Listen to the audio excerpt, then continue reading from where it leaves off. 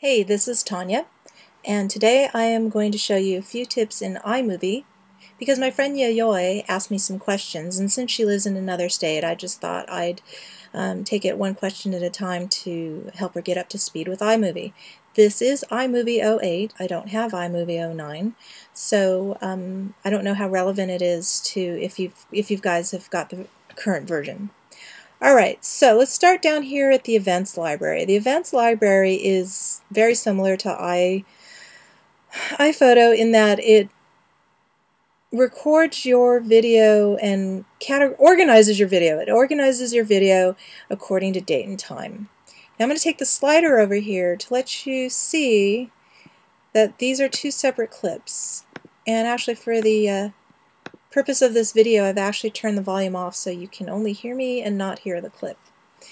Now that yellow thing right there is what you can use to scroll through an area of the video and say, let's say you just want that bit, that yellow bit, and you can make it bigger, like maybe as you watch in the viewing screen up in the upper right, I had it originally here, but if I just do that, I think it, it's, a nice, it's a nicer place to stop. Anyway, so that little yellow box indicates how much is in that clip, and I'm going to drag it up to my clips bin.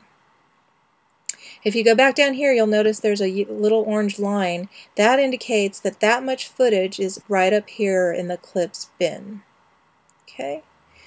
Then we're going to take this little bit of footage. My friend Jeffy made some really delicious grilled cheese sandwiches. And we're going to put that up in the clips bin. And I'm actually going to do a couple more clips. And you know what? Look how small that is. I'm trying to edit with a very small space. You can actually take the slider and create a film strip so that's easier for you to see wh what you're editing from. So maybe I'll take that clip and maybe one more this last bit of here, Diva Danielle. Yeah, I don't need that little bit there. There's nothing in that shot. See how I'm scrubbing back and forth in the timeline? See how it ends right over there? And I'm like, eh, don't need that. So I'm going to cut right to where I turn away from Diva Danielle. Look at her rocking out. She's having a good time. And I'll put that up in the in the clips bin. Now, if I take the slider all the way to the top, of the timeline, right here, this little red line, and I press the space bar, it'll start going uh, through the entire timeline and you'll get a feel of how the flow of your little video is going. Okay, and then it's going to transition to that bit with Jefferson. and there's more grilled cheese sandwiches. And then me sampling one of his delicious grilled cheese sandwiches, and then cut back to Diva.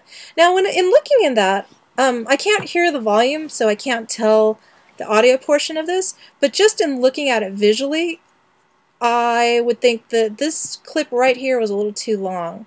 So what I'd want to do is maybe shorten that a little to right around here she's having so much fun.